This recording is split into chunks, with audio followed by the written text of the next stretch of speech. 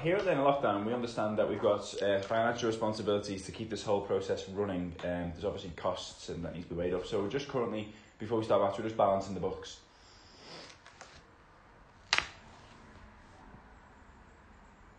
Three. How many do you think I can get on my head?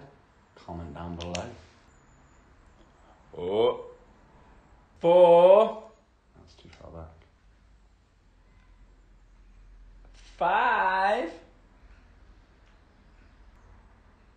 Six.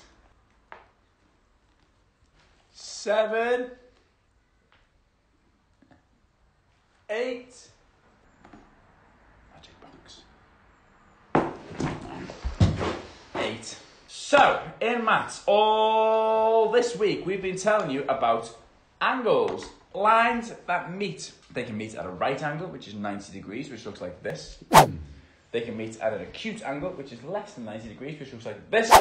Or it could be a variety of acute angles, not just this one angle, anywhere between 0 and 90. And they could also form an obtuse angle, larger than 90 but less than 180 degrees, which looks like this. And remember, anywhere between 90 and 180.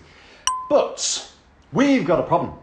We have uh, we've had a few complaints. We have. Because frankly, we have mentioned a few times that where these lines meet, and according to government regulations, they should not be meeting at all at the moment if they are not from the same household. So today we're going to talk to you about two groups of lines. The socially distancing lines. Well, Well, some of them are. That's one group. So the lines that are not from the same household who should be socially distancing, and lines that are from the same household and how they can meet. If you don't believe us and you think we're talking absolute gibberish, you're absolutely right. But we're still going to tell you anyway. So first of all, let's have two lines on our board.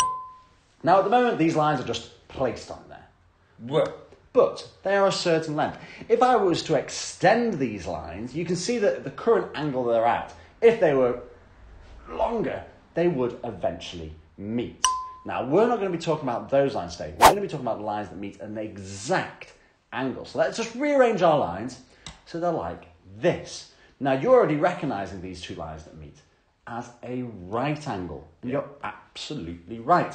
Now, these two lines, therefore, are from the same household. They do not have to socially distance. Um, they still have to be alert, but they can meet. But they meet at exactly a right angle. Not any other angle, not an acute, obtuse, or even larger than 180 angle, exactly at 90 degrees. So we called them a special name. The special name for two lines that meet at exactly a right angle are called perpendicular lines. So they meet at exactly 90 degrees. Okay? So anytime you see two lines and they meet at a right angle, no matter which orientation they are in, they are perpendicular if that angle in degrees at which they meet is 90 degrees. So those are lines from the same household. Perpendicular lines meet at 90 degrees.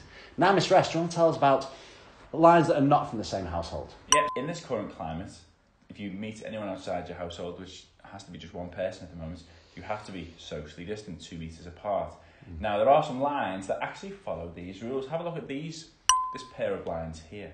Okay. Now, as Mr. A said before, we could extend these lines. We could make them grow that way, or we can Whoa! make careful, or we can make them grow this way.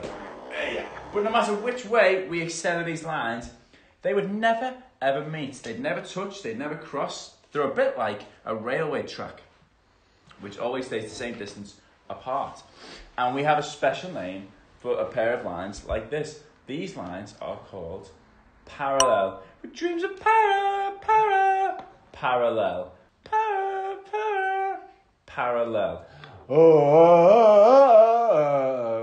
And yet they're called parallel lines. They do not touch, they do not cross, even if you extended them for infinity. Yeah. They wouldn't touch. So there's our two types of line pairs today, if you like. We've got parallel lines that never meet, and perpendicular lines which do, do meet, but at exactly only at a right angle.